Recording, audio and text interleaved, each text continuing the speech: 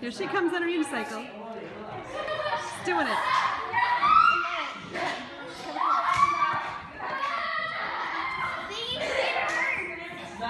it.